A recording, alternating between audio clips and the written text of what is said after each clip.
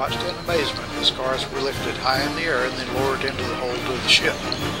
We didn't get to see our car go in, and that was probably a good thing because our new Chevy Impala was seriously damaged either in the loading or the unloading process. Later that day, we felt the gentle thrumming of the engines beneath our feet, and, towed, and tugs towed us away from the pier and out into the channel. Before we knew it, we were at sea in the Gulf of Alaska for an overnight run down to Kodiak Island. This turned out to be the roughest night of the voyage. The seas were extremely rough, and all of us, except Mother, so she always claimed, were deathly seasick, along with a fair number of the crew. At one point, the ship was said to have taken a 45 degree roll, which I could not disagree with. Kodiak was a nice respite. The ship stopped there to take on more passengers, and we had an opportunity to stand on terra firma for a while. As I recall, we hiked over to the base bowling alley, bowled a few games, stocked up on cokes, since there were none on the ship, and then hiked back. This was uh, the last run of the Funston, and many of the amenities that would normally have been aboard, such as coke machines, had already been removed. Soon a tug maneuvered us out into the channel, and before long we were on the open Pacific, heading for home. Once at sea, we found calmer and eventually warmer weather. However, as these scenes show, even on calmer seas, it is still big water, and the motion of the ship is constant. However, it didn't take us long to find our sea legs and for everyone to get to feeling better, and the remainder of the voyage was a pleasant, relaxing experience.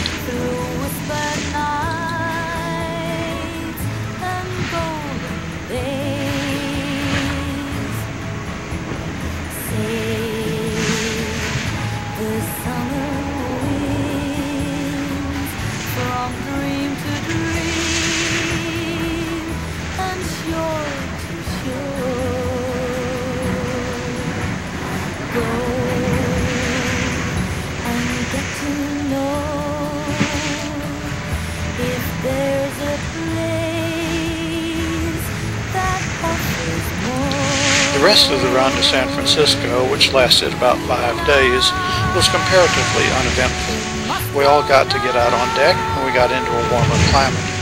The ship had actually slowed down and extended our time at sea a little bit since our slip at San Francisco had not been vacated on time for us to dock on time.